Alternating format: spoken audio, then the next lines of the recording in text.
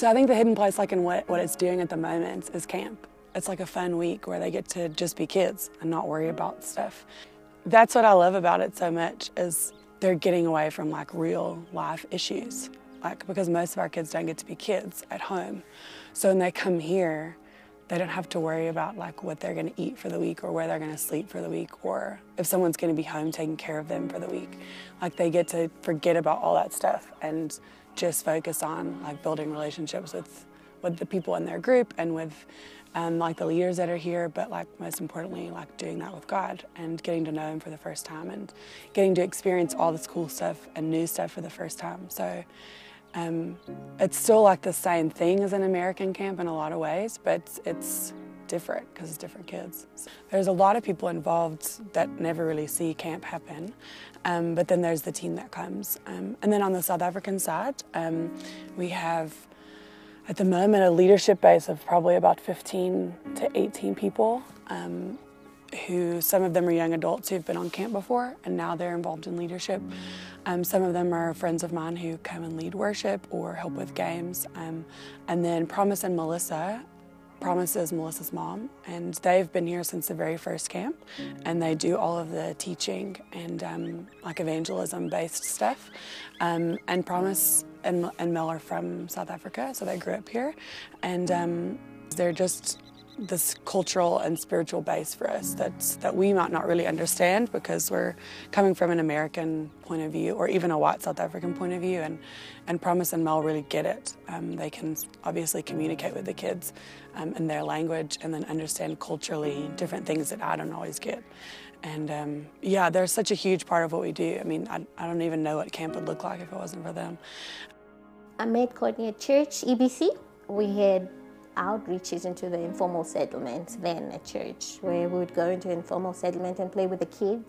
And I don't know how she heard about me, but I heard that she was looking for someone to help with camp. Now I hate camps, but when I heard that it was this was the kids camp and we were going to talk about Jesus and I could play a role in that, I thought this is awesome.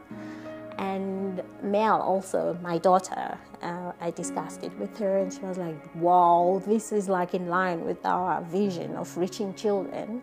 Because everyone was busy evangelizing the, adults, and no one was preaching to the kids. And we had seen in the informal settlements that they are ready to hear the gospel and the full gospel, uh, not watered down or anything like that. They can comprehend a, a savior dying for them on the cross and accept Him and live for Him. So we're excited that someone has come up with a camp, not just few hours in a Saturday, you know. And, and so I believe firmly that all the kids that come to our camp are, are kids that God has chosen for that camp. And for that, whatever theme we're having, that kid really needed to hear that. Our kids come from Alex, and that's, that's what we call an informal settlement, squatter camp, really. Uh, that means there's no formal structure there. They just put together stuff, you know, corrugated iron and boxes and plastics, and so it's not a, a proper structure of a building. The background from the informal segment kids is there's filth everywhere and there's abuse of substances by the adults in the community, so they drink because there's poverty and people tend to to all sorts of stuff to cope with life in that in that fashion. And and kids are brought up in that, and there's AIDS, so there's a, a lot a lot of orphans as well, child-headed homes.